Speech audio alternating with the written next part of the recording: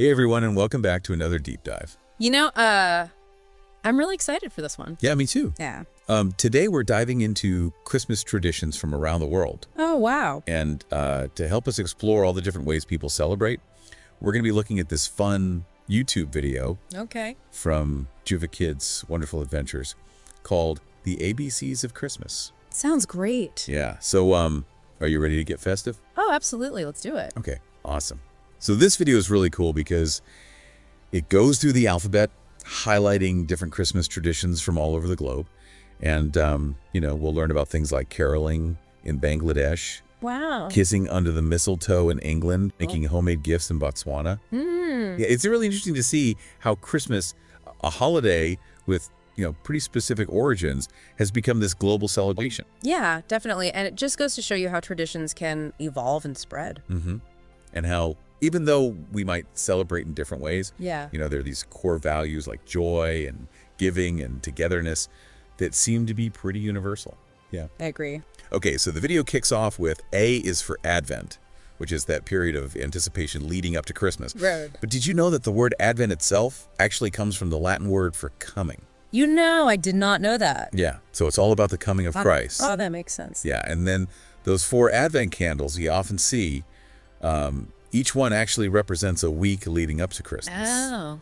and lighting them symbolizes that growing light as we approach the big day. It's beautiful how something so simple can be so meaningful. Yeah, I love that. Yeah. Okay, so moving on to B is for bows and Botswana. Okay. So the video highlights, you know, both the decorative aspect of bows, which are everywhere during Christmas, but also focuses on this heartwarming tradition of making homemade gifts. Ah. And speaking of homemade gifts, Botswana in Africa has a strong tradition of giving personalized, handcrafted presents for Christmas. Really? Yeah. That's so special. I know. Yeah. It's really cool. It makes you think about, you know, the mass-produced presents we often see, and it just makes them seem a bit impersonal. Yeah, definitely. All right, C is for caroling, and this one's really cool. The video features caroling in Bangladesh. Oh, wow. I never would have thought of that. I know, right? Uh. It just shows how diverse Christmas celebrations can be. So in Bangladesh, they have this unique style of caroling called kirtan, and um, it's very different from the carols we might be used to. It starts really slow, and then it gradually builds up to this fast tempo with everyone singing and dancing. It sounds so lively and energetic. I know I'd love to see that in person. Me too. Okay, next up we have D is for dancing. And let's be honest, dancing is a key element of celebrations everywhere, Oh, absolutely. especially during the holidays. Yeah, from those ancient solstice celebrations to modern day parties, dance has always been a way for people to express joy and connect with each other and just let loose. Right. It's like a universal language of celebration. I love that. All right. F is for fruitcake and feasting. Ah, here we go. I know I know fruitcake gets a bad rap, It does. but but the video actually features panettone, which is a type of fruitcake that's really popular in South America. Interesting. Yeah. And speaking of feasting, many Latin American countries have these Buena Noche celebrations on Christmas Eve. I've heard of that. Have you? Yeah. Yeah. So it's not just a specific event, it's like a term for the whole festive evening with special meals, music, and even piñatas. Wow, pinatas at Christmas. That's awesome. I know, right? Yeah. Okay, and then we have G is for gifts and giving. We already talked about Botswana's homemade gifts, but gift giving is pretty much a universal part of Christmas, wouldn't you say? Yeah, for sure. And it's actually believed that gift giving stems from those ancient traditions of exchanging presents during winter solstice festivals. Hmm, that's interesting. Yeah, it's fascinating to think that something that started thousands of years ago is still so central to how we celebrate today. Yeah, it really is. Yeah. And I think it speaks to that human need to connect and show appreciation, especially during these darker, colder months. Yeah, that makes sense. Okay, are you ready for a little musical interlude? Oh, I love these. J is for Jingle Bells. It's a classic. It is, I bet you can already hear those Juva kids belting it out. Oh, for sure. K is for Kissing Under the Mistletoe. Now, this tradition has its roots in ancient mythology, but it really gained popularity after the publication of A Christmas Carol. Really? Yeah, That's cool. I didn't know that. yeah. It's amazing how a piece of literature can have such a lasting impact on our culture. Yeah. All right, moving on to L is for Luck and Nutcrackers. Okay. So, you know those charming nutcracker figures? Oh, yeah. Well, they became popular in 17th century Germany, mm-hmm. and they were believed to bring good fortune and ward off evil spirits. I love that. Yeah, it's interesting how objects can take on that kind of symbolic meaning, you know, mm-hmm. becoming imbued with beliefs and superstitions that are passed down through generations. Yeah, definitely. Okay, O is for ornaments, which are mm-hmm. pretty much a universal way to personalize Christmas trees. Right. Yeah, from those sparkling baubles to handmade creations, ornaments are like little windows into people's lives and memories. Yeah, you're right. They can be family heirlooms or symbols of special moments or even just quirky reflections of someone's personality. It's really cool to see how different cultures express themselves through their ornaments. It is. Okay, next up, we're heading back to Latin America for P is for piñata. Oh, okay. Remember those Buena Noche celebrations we talked about? Yeah. Well, piñatas are a central part of the fun, Oh, I love piñata. and they're not just about candy and fun. Really? The piñata actually has roots in ancient Aztec rituals. Wow. Yeah, and it symbolizes abundance and good fortune. Hmm. So breaking it open represents releasing those blessings for everyone to share. Oh, that's beautiful. It is. It's amazing how a seemingly simple tradition can have such deep cultural significance. Yeah, for sure. Okay, let's dash through the snow with R is for reindeer. The video shows that classic image of Santa's reindeer pulling his sleigh, but reindeer hold a deeper significance in many cultures, Right. especially those in northern regions. Yeah, they're often associated with strength and endurance and the ability to navigate through those harsh winter conditions.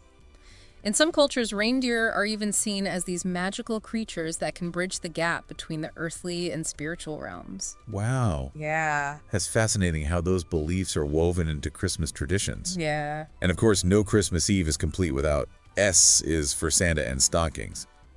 It's a tradition that transcends cultural boundaries with kids all over the world hanging up their stockings mm. in hopes that Santa will fill them with goodies. Yeah, it's such a classic image. But did you know that the figure of Santa Claus we know today is actually a blend of various cultural influences? Really? Yeah, he has elements of St. Nicholas and Norse mythology and all sorts of folk traditions.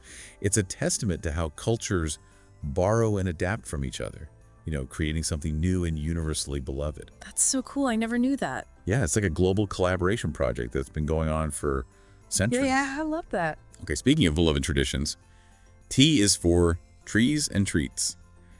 The video shows Christmas trees all decked out in their festive glory. Beautiful. which is a central element of the celebration in so many cultures. And remember how we mentioned the Nutcracker having German origins? Yeah? Well, the Christmas tree tradition is believed to have started in Germany too. Really? Yeah, back in the 16th century. But its roots actually go back even further to those ancient pagan celebrations of evergreen trees during the winter solstice. Wow. So Christmas trees have both pagan and Christian origins. Exactly. That's incredible. It's like this single tradition embodies the evolution of beliefs and cultural practices over centuries. yeah, it really is. And then think about how the meaning of the evergreen tree itself has transformed over time. yeah. For ancient peoples, it symbolized everlasting life and resilience and the enduring power of nature.